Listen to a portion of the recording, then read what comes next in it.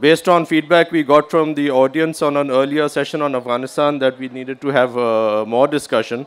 So thank you, Mr. Riaz Muhammad Khan and Mr. Noorani for agreeing to be with us on a short notice, less than one day. And thank you, audience, for being with us. Uh, Riaz Mohammad Khan, for those of you who were not with us yesterday, served as Pakistan's Foreign Secretary from 2005 to 2008 and has been ambassador to China, European Union, Belgium, and Kazakhstan and Kyrgyzstan. He is the author of two books on Afghanistan, not just a diplomat, but he's an academic as well. And he's the author of Untying the Afghan Knot, Negotiating the Soviet Withdrawal. And this was published in 1991 by Duke University. And his second book is Afghanistan and Pakistan, Conflict, Extremism and Resistance to Modernity which was published by Oxford University Press in Pakistan and also published in the US. And he also has a coffee table book called Pakistan Glimpses of Vistas, History and Culture. So thank you, Mr. Riaz Mohammad Khan. You have invaluable experience and we'd like to learn more about you, your experiences of Pakistan and Afghanistan. Also with us is Mr. A.G. Noorani, who is a prominent Indian lawyer and columnist specializing in constitutional law and history. His columns in the Indian Express are well known. He also writes regularly for the fr front, Frontline, Chennai, India, and for Dawn in Karachi. Mr. Noorani has authored several books, including Jinnah and Tilak, Indo-China Boundary Dispute, Constitutional Questions and Citizens' Rights, The Trial of Bhagat Singh, and Indian Political Trials. Uh, more recently, the Destruction of Hyderabad was published just last year. And his latest book is The Kashmir Dispute, which is uh, to be published this year. It's forthcoming, I believe. It's not out yet. So thank you. It is already out yet. Thank you, Mr. Noorani, for being with us. And uh, we would like to uh, draw panelists into a discussion about Afghanistan and its uh, linkages with Pakistan and uh, what uh, a little bit of the history of the challenges that the Afghan state and nation have faced, and also the consequences of those challenges, the Soviet intervention, issues of Pashtun nationalism, and the resistance to the Soviet and the Pakistani responses to the issues of Pashtun nationalism, Soviet expansionism, Cold War, and the imperatives that that placed on Pakistan. So it's a very long and complex uh, history that has resulted in this kind of a vortex or the perfect storm that Pakistan today finds itself in, where its traditional policy seems to have resulted in a lot of uh, unexpected consequences, to say the least. And we are in the process of trying to redefine our Afghan policy. We are in the process of trying to redefine the kind of country and the kind of you know, society that has emerged as a result of our, you know, interventions in Afghanistan and as a result of our policies of, uh, related to Afghanistan. So it's a very central issue to Pakistan and where we are currently faced. That's why we uh, like to get the views of possibly Pakistan's leading experts on this issue. So Mr. Uh, Riaz, could you tell us, I mean, a little bit of the history of how did Afghanistan come to play such a central role in Pakistan because it really seems to have been the driving force in some of the biggest policy decisions that have been made over the years. Well, thank you very much uh, for this very generous introduction to me. Uh, but uh, let me say at the outset that uh, A.G. Saab is my elder and I have greatest respect for him for uh, the work that he has done, his, uh, especially his uh, research on the early history of uh, uh, uh, partition and subsequently on, on, on, on Kashmir.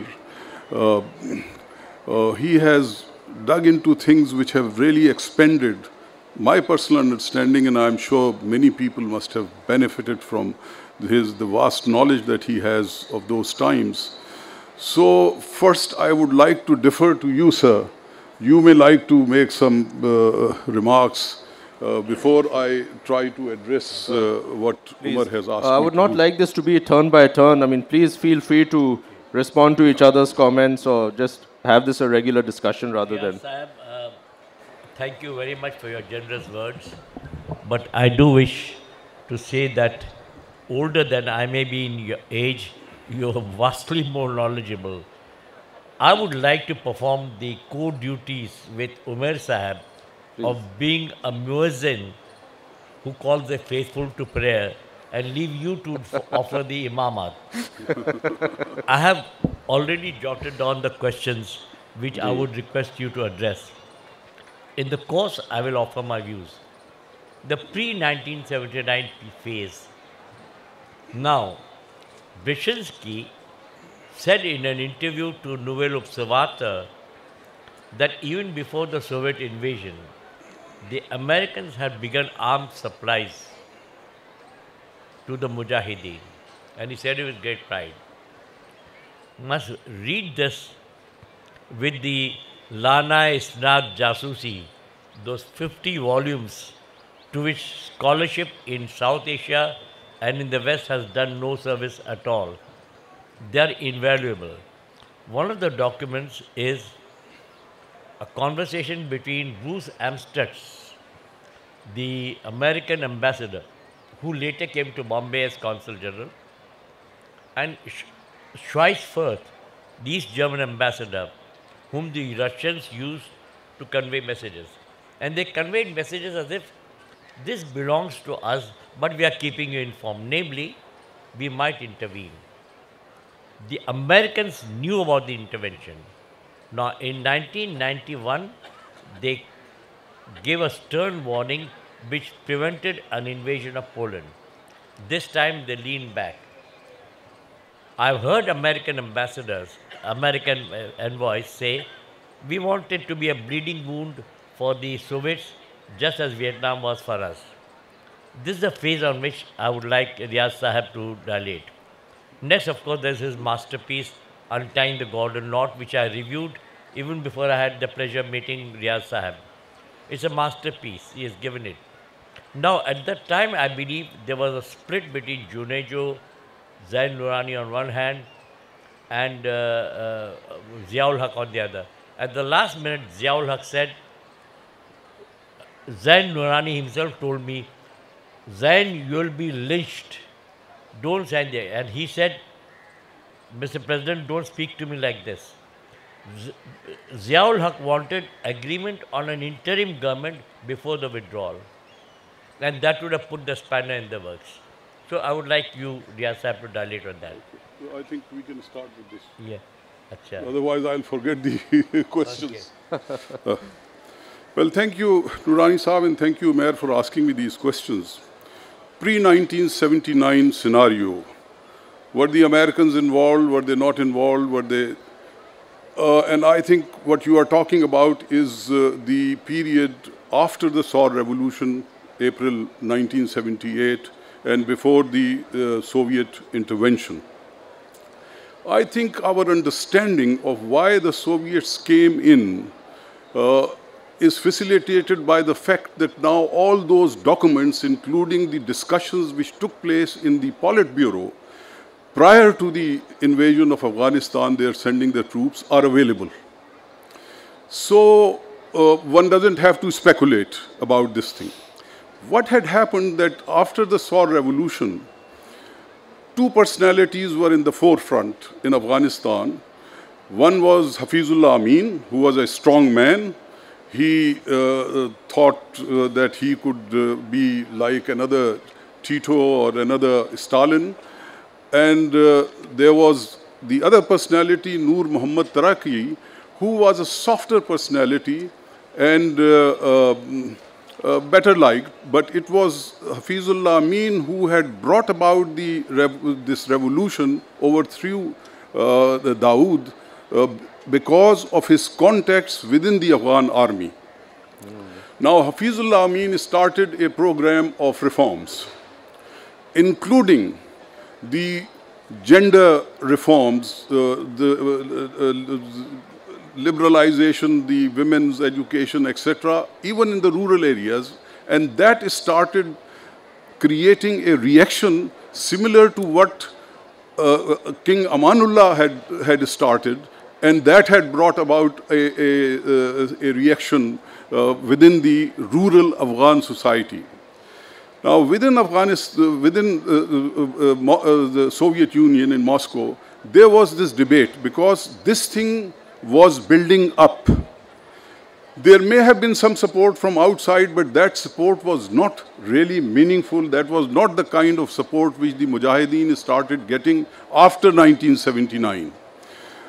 This we have to bear in mind. So the Soviets felt that here this man, Hafizullah Amin, are pushing us in a direction where there may be a people's revolt in the rural areas, etc.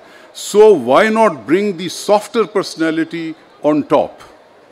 And uh, uh, you would recall that uh, in July, uh, uh, July, August 1979, the, the Taraki had gone to Havana. There was a summit, and then he came to Moscow. He stayed in Moscow for almost about two weeks. And uh, when he came back to Kabul, Hafizullah Amin did not come to receive him at the airport because he sniffed that there was something cooking up.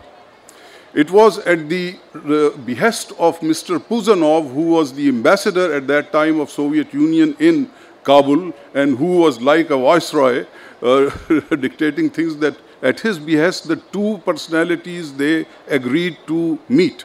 And in that meeting the wrong man got eliminated.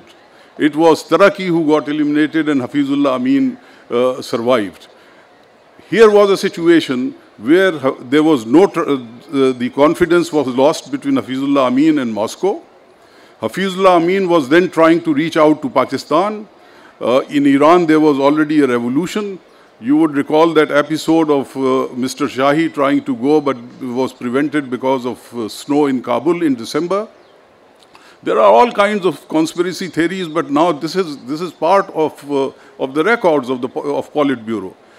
There in Politburo, there was an intensive debate in which they said what to do because they could not engineer a coup from within, uh, uh, within uh, the uh, Afghanistan because the army was under the control of Hafiz, Hafizullah Amin. And Hafizullah Amin wanted to reach out now to, to the outside because there was no confidence between, between Moscow and him.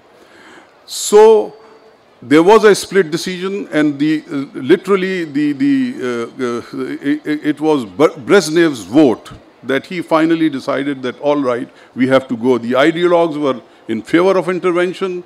The others, people like Andropov, they were against uh, an intervention. But then finally Brezhnev decided, he said, we will go and probably in six months' time, we will be able to settle things. So they went, they dislodged, killed Hafizullah Amin, brought Babrak Karmal, who was in, uh, in Czechoslovakia, and the rest is history as you know. So I would like to say that we should not give too much importance about these news that some uh, uh, support, arms, etc. were given to the Afghans at that time. This, this was the background of, uh, uh, uh of that, that invasion.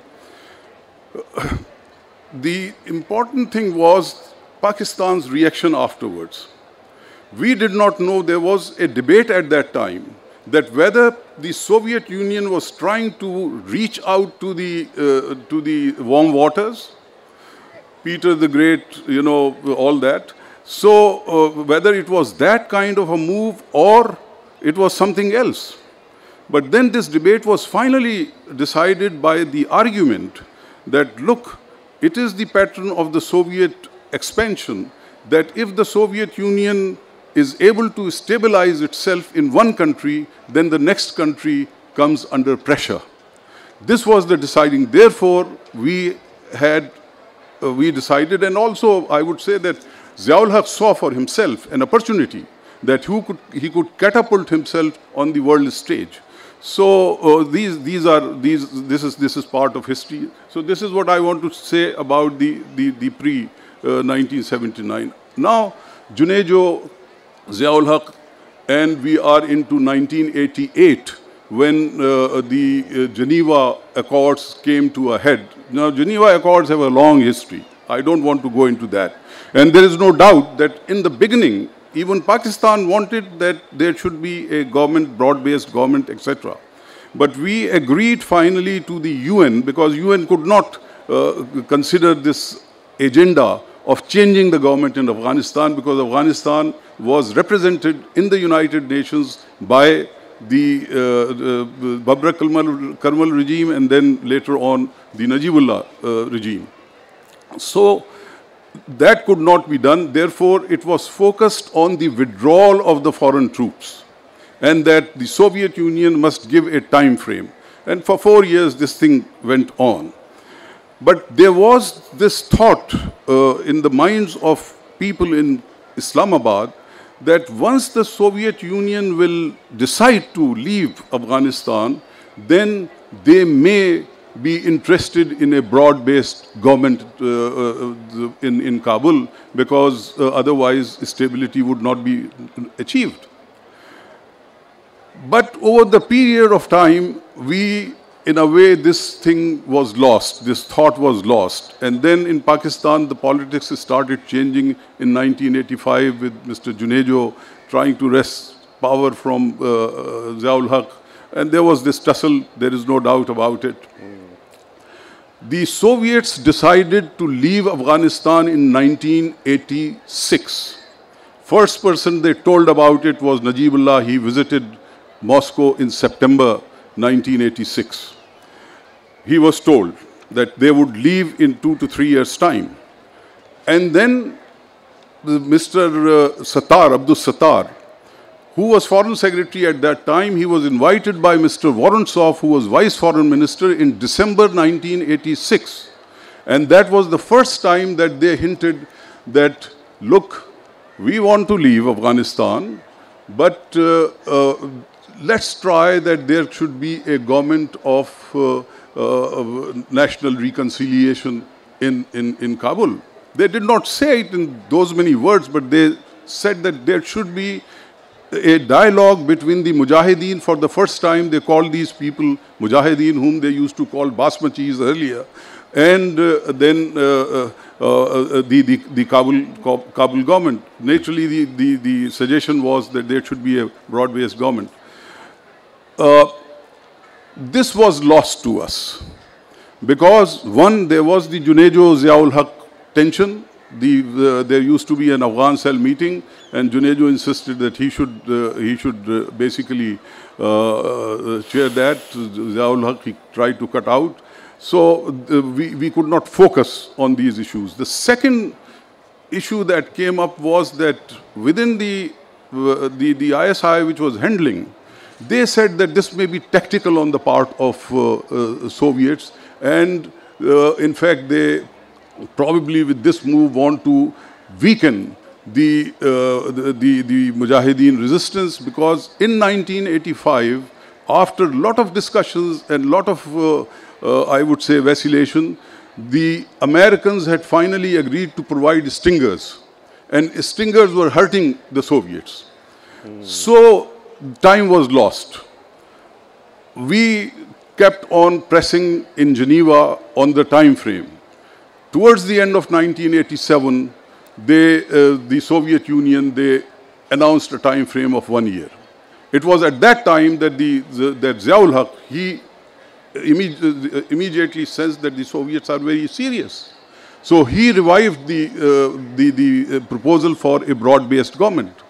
But then on one hand, these mujahideen who had developed their own ambitions, and when uh, Ziaul Haq made this statement that my formula is one third, one third, one third, so uh, Yunus Khalis, who was the spokesman for the mujahideen, he said that is Ziaul Haq's formula, that is not our formula. The, uh, uh, there, there, is, there are many episodes I can recount.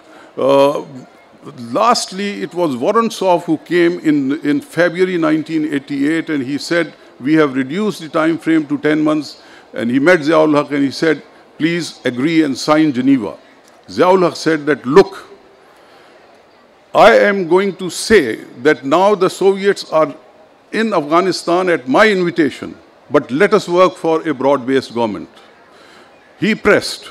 Shaw finally said, all right, I am, I, my mandate given by uh, Gorbachev was uh, that, you, that I uh, uh, uh convince you to accept the time frame and signing Geneva.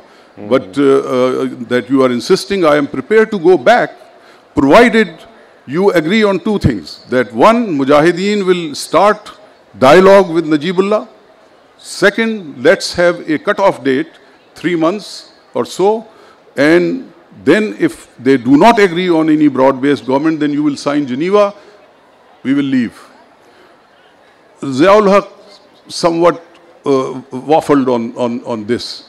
And he said, and I remember the words, and they are recorded, that Mr. President, whatever you had been saying was tactical. We are leaving with or without Geneva. If we leave without Geneva, there would be incalculable consequences for Pakistan and our relations.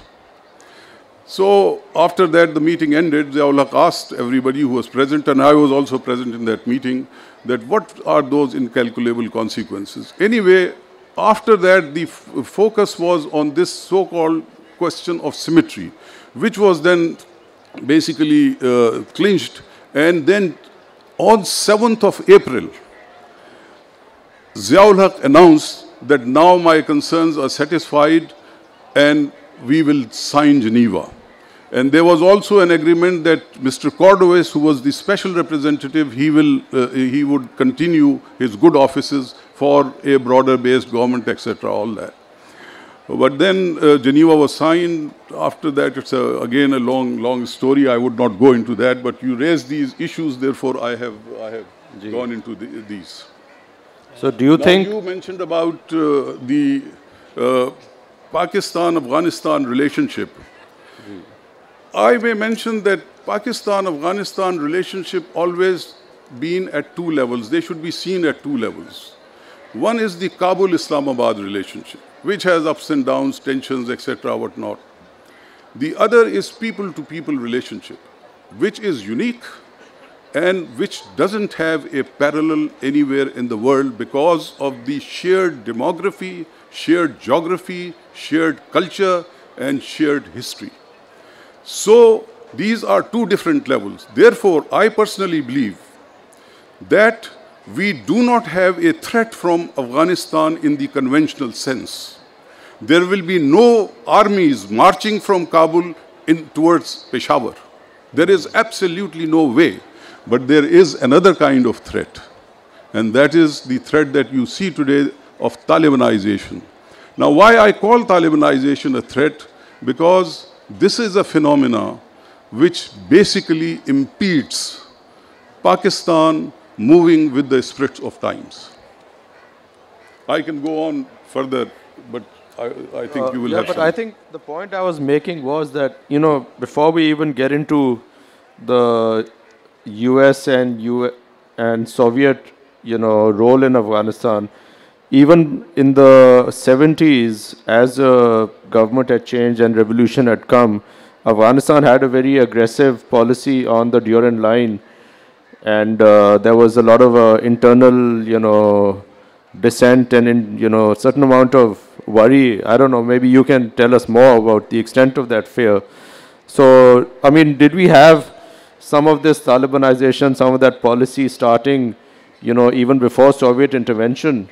Or is it, as you said, more a post-79 thing? And, and no, what role will that have now? Because now again we have a government in yeah, Kabul yeah. which is talking about, you know, Durand Line and protesting about. Yeah, Durand Line, uh, it's an emotional issue. It's a burden of history which the Afghans carry. They never really accepted the Gandamak Treaty of 1980. Uh, 98. People say the Durand line is for Afghanistan, but Kashmir is for Pakistan. You know, it's very popular. No, no, let's not draw that kind of comparison because Kashmir is a different kind of an issue. Involves people, their rights. Uh, here we are talking about a border. You would be uh, the, uh, interested to know that a formulation which was there on the Durand line uh, suggesting in, an inference which was there for international border, that was the last issue which was decided in Geneva. And that basically required Mr. Shevardnadze to travel to Kabul. And then in Kab Kabul did not agree and he had to request Pakistan to agree to a rather ambiguous kind of a formulation. So the Afghan sentiment is very strong on this. I don't think that, for example, when the Mujahideen came into power and we suggested that, they said, look, between brotherly countries there should be no borders. So they basically sidelined the question. Taliban said the same thing. So pushing the uh, Kabul government to accept Durand line is unrealistic. But at the same time, everybody accepts it as a functional border. And the NATO presence in Afghanistan has in fact reinforced this. Because what is the, what is the red line? Red line is that there would be no boots across the Durand line. So this is an international recognition of the border. We should not push the Afghans to, uh, but we should, what we should try is that we should try to regulate this border as much as possible through biometrics, through other means, through having, uh, you see, designated uh, exit and entry points, etc., all that. Uh, so that we should do, and we were we should also try to integrate the the uh, tribal areas into with the rest of Pakistan. That has been uh, we have been remiss as governments, as people, as society in doing that.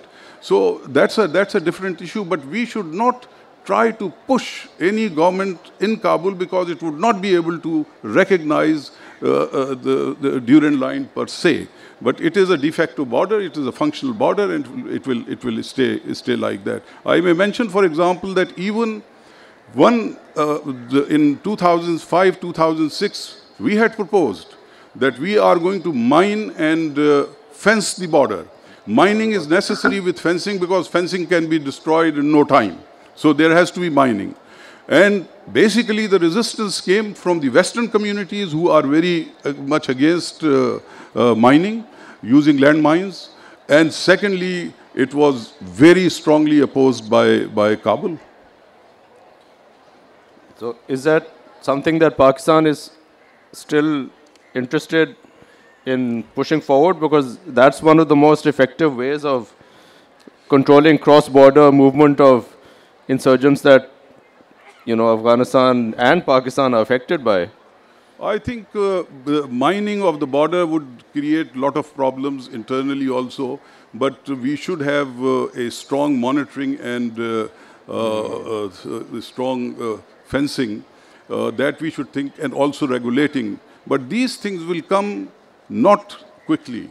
I think the first steps are that what is our policy vis-a-vis the Taliban, vis-a-vis the government, and the whole question of the conflict and national reconciliation. Yeah. First thing, we have to be very clear in our minds and in our narratives. Conflict hurts Pakistan more than any other country except Afghanistan itself. We should be very clear on that. Yesterday, in fact, it was Dr. Maleeha Lodhi who had mentioned uh, Allama Iqbal's uh, very famous uh, verse, uh, uh, Az fasade u fasade Asiya, Az kushade u kushade Asiya, that if there is turmoil in Afghanistan, there would be turmoil in uh, Asia.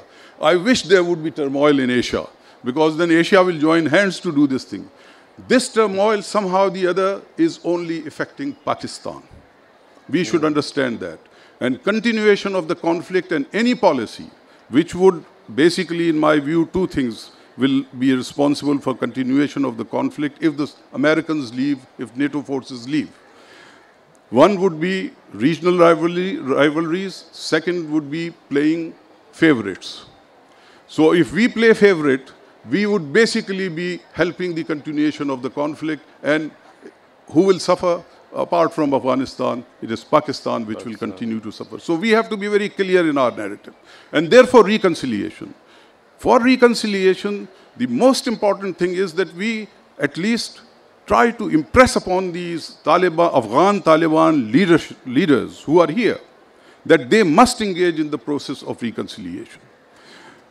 And they should also stop because after all, they are enjoying hospitality on Pakistani territory. Therefore, if using Pakistani territory for activities, for operations which bring embarrassment to us, create problems for us, that also must be, we, sh we should be clear uh, in our, uh, at least conveying this message that this, this must be stopped. It will take time. As I also mentioned yesterday, that there is going to be no neat end to the Afghan conflict, but if we are, uh, in terms of our institutional setups, the army, the foreign office, the government, politicians, if we are on the same page on this, and if we are convinced that we are from now onwards going to treat Afghanistan as a state, not as an extension of Pakistan, then I think uh, we would basically be helpful towards the stabilization of Afghanistan, which is in the best interest of Pakistan. Of Pakistan, indeed. Thank you. Sir, would you have any? Well, let me begin by with the Durand line. Uh, I'm not half as knowledgeable as my friend Riaz Mohammad Khan Sahib, but I've done a little research. I think the Afghan case on it is profoundly dishonest. The Durand line was reaffirmed as late as 1921 by the Anglo-Afghan Treaty. It is affirmed. Afghanistan was a founder member of the League of Nations. It never raised a dispute at the League of Nations. It was in 1947, early 47, that it began to raise the issue with the British. And the British snubbed the Afghans. They said it's already concluded. Now, here I may tell you, as well as dissent on a host of issues, I have dissented with the mainstream Indian opinion on Durand Line also. Hmm. I may tell you, based on informed sources, that the, well, in the wake of the Cold War, began with Kashmir and uh, there was a serious attempt to question Durand line, just as there was a serious attempt here to question the McMahon line. But one of the few accurate statements by Mr. Jaswant Singh is that we are born of the same womb. Now that is legally true and I'll tell you how. The Indian Independence Act empowered the Governor General to make orders regarding host of issues. One of them regarded international agreements there was a pact. Even Karnaugh said India was a successor state. Quaid-e-Azam rejected that and a compromise was arrived at. Now in international law, the treaty runs with the land. So the Governor General's order mentions the McMahon line, the Indo-Tibetan exchange, as well as the, Dura the uh, uh, agreements on the Durand line. India cannot contest the Durand line any more than Pakistan can contest the McMahon line. Now, as far as I am concerned, I think both are bound by the same thing because this order by Mountbatten was the result of an Indo-Pak agreement preceding the order. That's one. Secondly, Nehru unwisely said McMahon line is our border, maps or no maps. In that case, it was understandable it is much more understandable in Pakistan's case, this is our border and we leave it at that. I would suggest, if I may, a publication of a blue book would be itself a political event. But nothing prevents the Institute of Strategic Studies or any of the government bodies from producing a blue book containing the entire treaty making thing with copious documents and showing how it progressed for stage by stage the British. There's not one country in the world which questions the Durand line except Afghanistan. Now this brings me to the another aspect on which I wish Khan Sahib would dilate, that is the India factor on Indo-Pak thing. Unfortunately, based on the Durand line, Najibullah Khan, whatever his name was, the ambassador of uh, Afghanistan had a free run of the place and I am the proud owner of a collector's item a book on Pakhtunistan, which gives the map. It's a very revealing map. To this day, Afghanistan has not precisely defined the frontiers of its Pakhtunistan. Now, at this point, may I now pose the rest of the questions for my friend Mr. Riaz Muhammad Khan. Was there any prospect of the negotiations because the Taliban, so with the little I've heard from the National Security Archive, were knocking at America's doors, give us recognition, give us recognition. And even after 9-11, they did ask in deferred. And it's a singularly unfortunate thing that you had Madeleine Albright declaiming from the steps of the Foreign Office in Islamabad that they are useless people and denouncing them. The Americans are just new to diplomacy. You don't abuse people with whom you have to negotiate or to negotiate. Secondly, the, there was a possibility, I found it in Murshed Sahib's book, and was it possible to arrive at, now I know that Faisal Turki overplayed his hands by abusing Mullah Omar. And Mullah Omar did the incredible. He went to the adjoining room, picked up a bucket of water and poured it over his head. These are the people with whom one has to negotiate. And this kind of cultural difference one must reckon in any sensible negotiation. I would like Khan Sahib to address on that. Then. Well, ah, thank, thank, you. Thank you. I'll just say one word about uh, one sentence about Durand line. There are legalities of things and there are politics of things. Mm. As far as Pakistan is concerned, Durand line is the legal international border between Pakistan and Afghanistan. Our formal position is that this is a non-issue. You are right, Afghans have never been able to define what is their border, what is Pashtunistan's border. Pashtunistan issue in a way became almost dead after the Soviet invasion, but the Pashtun sentiment remains, which has now chan got channeled into other areas, the, the jihadi militancy and also an anger because they feel that Kabul has been wrested from under their control. That's a separate issue. So uh, the, the uh, question of Durand line for us, it is a legal line, and if there has to be any uh, doubts, the presence of NATO, as I said, has reinforced that position because that is the red line. No boots across mm. the Durand line. No uh, the firing, nothing. Uh, so basically, our position has uh, has has been uh, further further reinforced by by by these developments. Uh, then, uh, sir, your uh, question about the Taliban, whether there was a possibility of any negotiations.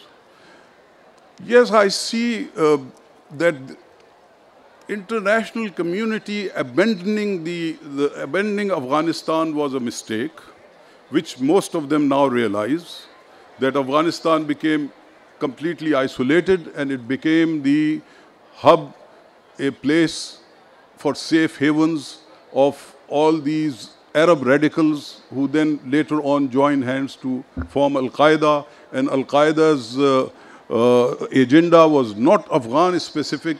It was basically uh, the, relating to the Gulf and it was also relating to the Palestinian issue to start with. Uh, if the international community had not abandoned Afghanistan and had kept the doors open uh, for assistance, etc., first they might have influenced the uh, conflict between the Mujahideen factions. Even when the Mujahideen factions they left and the, the Taliban came, if the international community were present in Kabul, at least they would have been helpful in moderating the Kabul faction of the Taliban under President Mullah Rabbani. Uh, Mullah Rabbani was the president and uh, Mullah Omar remained all the time in Kandahar. So there was a Kandahar faction and there is a speculation that there were some tensions between, between the two. Unfortunately, Mullah Rabbani died of cancer later. So uh, the, the, there was, the, there is an argument that uh, the, the international community should have kept the Taliban engaged. Now that is one aspect. The episode that you are recounting, which was Prince Turki Al Faisal going, it was relating to Osama bin Laden. Uh, that uh, he should be, the, he asked Mullah Umar that he should be handed over to the Saudis. And in that he said that uh, Mullah Umar had promised him, that is Prince Turki, uh, to, to hand him over. Uh, uh, when Mullah Umar said that he did not say so, he never promised, so he's unfortunately said that you are lying. Now, in a tribal kind of a society, and the Saudis should better understand their tribal values and ethics, it was like an abuse. And therefore he went out and then came back, poured the, the cold water on his head and then said that you Saudis are doing this, this, etc. Meeting ended, Saudis left. Uh, and uh, the Taliban uh, became further isolated. I wish the Saudis had continued to engage because the whole issue at that time was Osama bin Laden handing him over to a third country, not to United States, but to, to, to uh, Saudi Arabia. This was also our effort even after 9-11 for one month before the operation, operation started. So uh, I, I, I, would tend to agree that uh, had the international community had been more sensitive and continued mm. to stay in Afghanistan, not abandon uh, the, then perhaps there may be a possibility that the, the, the things would have been different. But on the other hand, we should also understand Taliban have a different mindset. They are product of madrasas. They are in a different, it's, it, they are in a time warp. So basically we have to understand them in dealing with them. But anyway, I don't want to further speculate on that because this would be all realm of speculation. Had we done this, then this would happen, etc. Yes. Uh, just based on your, I just wanted to give this quote I found in a book by Robert Crews of Stanford University on the Taliban, who quotes Osama as saying that our jihad has two targets. One is America, and the other is the foreign ministry of the Taliban. So I think it's kind of points. I was about to come to this. You already talked.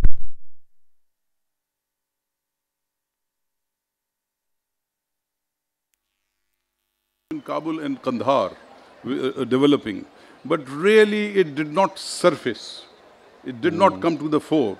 But you would recall that Bill Richardson, he visited Kabul. He met Mullah Rabbani. He yes. made certain promises. And later on, these Taliban, this Taliban faction in Kabul was reminding our ambassador, Aziz Ahmad Khan, that look, there were so many promises. So what happened to those promises? Because Bill Richardson came and went. Then, of course, towards the end of 1998... Bill Richardson the, the, was the energy secretary? Yeah. No, what the, position did he have at the time uh, when Bill he visited? Richardson at one time was permanent U.S. permanent representative in the United the Nations. UN. Yeah. Then later on, he became governor of, of, uh, New, uh, of New Mexico, Mexico, New Mexico. So um, the, he's a politician. Uh, but what I'm saying is that uh, uh, uh, there, there's something to this that had there, but then, yeah, after Kenya and Tanzania, which came after Bill Richardson's visit, then the Americans were totally focused on Osama bin Laden and Al Qaeda, and they were not prepared to listen to anything. They basically wanted him to be handed over either to the Saudis or to them. Okay. So, do you have any question, or should we open yes, to the audience? I okay. Like, yeah. I would like to just last question. I'll skip the Bonn, Bonn agreement and post Bonn.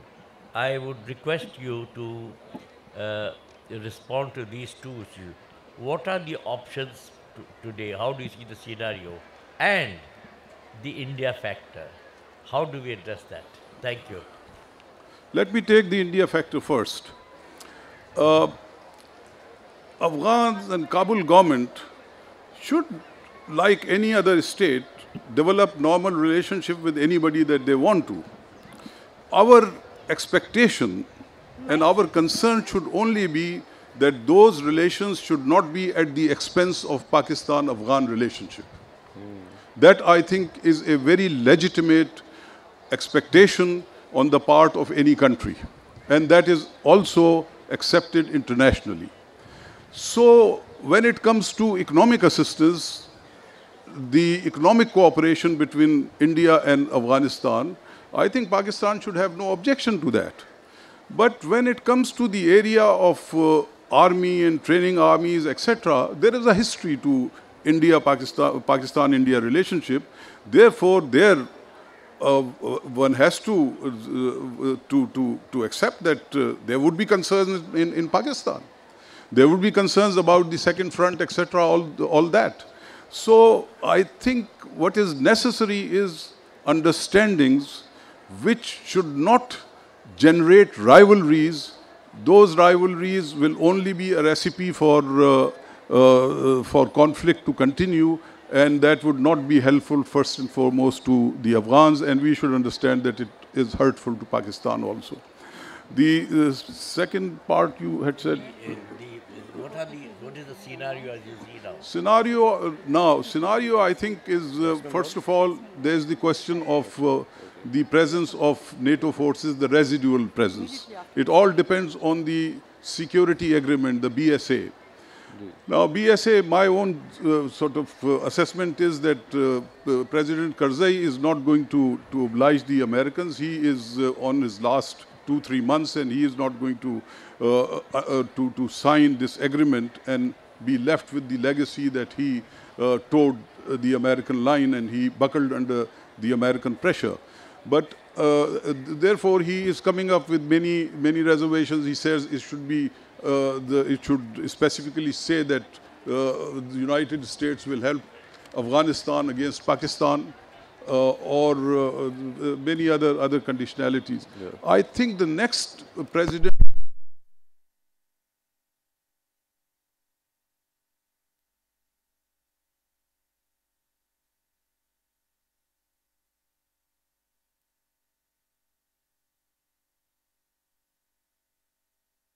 audience questions or you want yeah, to I just wanted to say that uh, when we look into the future, the most important things are how would this militancy proceed? If it tapers off, if it starts tapering off, then one can see light at the end of the tunnel. Mm. In that, reconciliation is the most important process. In reconciliation, Pakistan should play a supportive role supportive to the, the council, uh, to the uh, High Supreme uh, Peace Council, supportive to the, the uh, Afghan government, supportive to the, even if United States wants help, and also nudge the Taliban, Afghan Taliban leadership towards engaging. We can't press them to accept this agenda or that agenda, but we should at least push them to engage for reconciliation. So that would be a long haul, but that is something which has to be done. So very quickly, if you can tell me, I mean, we all understand there's reconciliation process going on in Afghanistan, but Pakistan has its own peace talks going on. So what do you think? Are you in favor of the peace talks taking place and are you optimistic or is it going to be... Look, sir, I would briefly say that Pakistan should develop a very clear narrative. It should develop a very clear narrative on Afghanistan, the Afghan Taliban, and also a very clear narrative on the Pakistani Taliban. There is no harm in, the, in dialogue, but we should be very clear as to the framework of the dialogue as far as Pakistani Taliban are concerned. Whether this will be within the framework of the constitution or are we going to talk about something different? And I think we should state it very clearly that, okay, this is something that we would try, but if this fails, then we will have to have some other option. Right. So clear narrative is the first and foremost requirement on the part of our institutions and our government and our political leaders. So, Mr. Noorani, you have... I think... As far as the India angle is concerned, let me say that I've always believed that India should have be sensitive to Pakistan's concerns.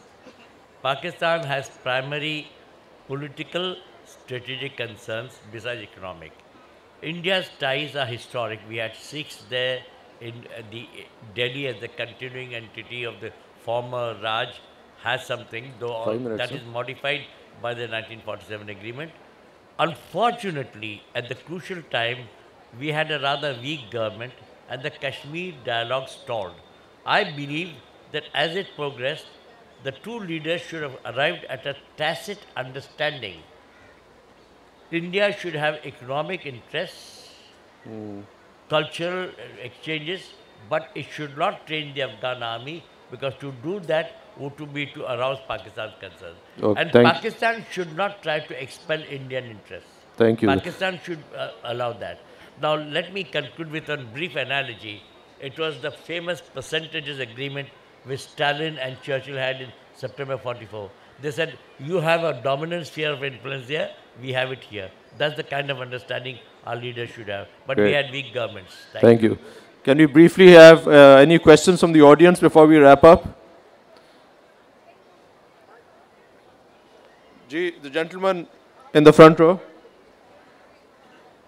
I think we have.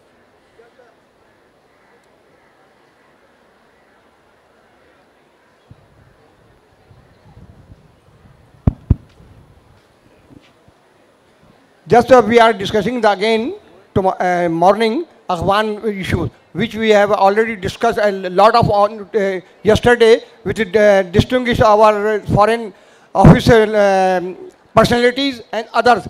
But uh, still there is, a, as Mr. Noorani just say now, the Indian which are making various consulates on the border of Pakistan and within Afghanistan. Why they are not considering to deceive the Pakistani nation as well as and the Pakistani government for uh, which we are in our uh, people say the mischief thinking are done by the Indian on our border. It should be very alarm and uh, wherever here is okay. distinguished guest Mr. Noorani is uh -huh. sitting, they should also take the issue to their neta in India. Thank you, sir. Uh, let me say it very clearly. Any other questions? Consulates are very formalistic, very well-known presence in a country.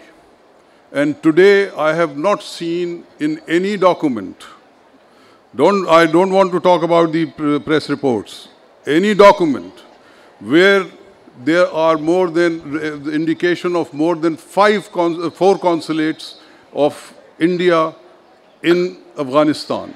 These are the same four consulates which we are also maintaining and all of them were inherited by the two countries the, in 1947. Kandahar, Jalalabad, Mazar-e-Sharif and Herat. Now, Indians certainly have their agents and they have their activities along our border, etc. But sir, I would say that Pakistan must proceed in its policies towards Afghanistan with a great deal of confidence. And that confidence should lie in that people-to-people -people interaction and people-to-people -people relationship, that layer of relationship which is centuries old, which is very stable, and no amount of activity by, uh, you know, people uh, from the, the, this intelligence agency or that intelligence agency can disrupt that. We should proceed with confidence, but we should also be very clear that it is in the interest of both Pakistan and Afghanistan to have stability, and that stability will be when we start treating Afghanistan and they're treating us, Pakistan, on a well on, on the basis of well-known norms of state-to-state relations. I think we are out of time. Okay. Thank you very much, Mr. Riaz Mohammad Khan. Thank you very much, Mr. Noorani. Sorry for the brief time we had for questions, but we lost five minutes on the electrical problems, but we have more sessions, so we have to move on. Thank you.